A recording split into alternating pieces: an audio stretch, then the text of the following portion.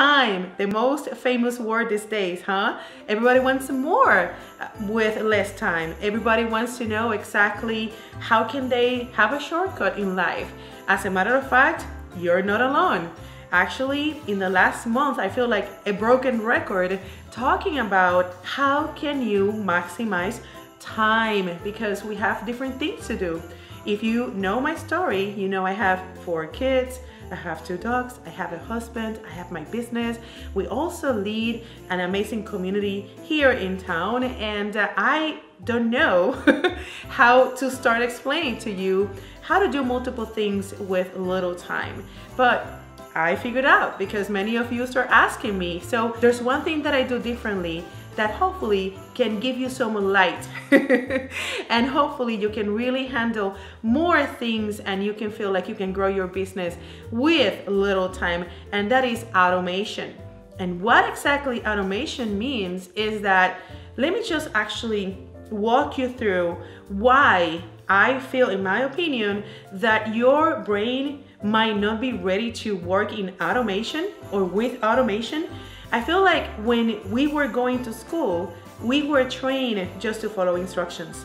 We were taking classes, we had homework, and then at the end of the day, if you had the test and you passed it, you had a good grade. Now, in the real life, life doesn't work in that way. We have multiple things coming on. Most of them are out of our control. So there's one thing that you can do that really can help you to create systems and automate the multiple tasks that we have to do across the day. So if there's something that is going to help you to really do more in less time is having systems. And I call those method of operations. You should have by now a daily method of operations. That's one. The second one will be the weekly method of operations. The monthly method of operations is the third one, and the yearly method of operations is the fourth one. Now that we are coming to kind of the end of the year, and uh, maybe you're watching this video when it's at the beginning of the year, now is a very good time to sit down and review what is it that you should have done differently so that you can live and you can run your business by having that famous balance that everybody wants.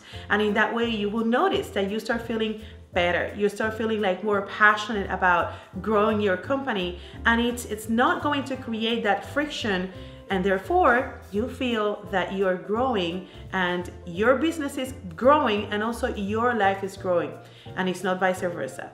And that is my secret to do multiple things and even when it looks that it's multiple things at the same time, it is not really that. It's really that we have systems in place and I know exactly what I'm gonna be doing daily, weekly, monthly, and yearly. And I invite you to do the same.